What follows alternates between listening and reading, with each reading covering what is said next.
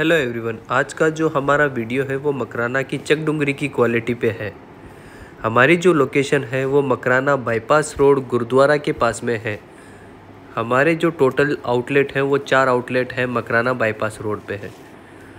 तो आज का वीडियो शुरू करते हैं। ये चार लॉट है चकडुंगरी क्वालिटी में, जो कि क्वांटिटी वाइज अपन बात करें तो 6500 स्क्वायर फीट की क्वालिटी है चारों लॉट में।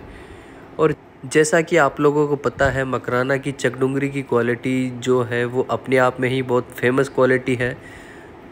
तो ये चकडुंगरी की क्वालिटी का जो लॉट है, बहुत ही शानदार वाइटनेस के साथ में 6500 स्क्वायर फीट का पूरा लॉट है, जिसके चारों लॉट का फिगर भी ऑलमोस्ट सेम है।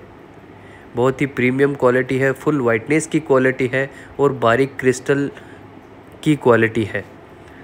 आप लोग ये लोट हमसे ऑनलाइन भी परचेज़ कर सकते हैं और मकराना आकर इस क्वालिटी का सिलेक्शन कर सकते हैं।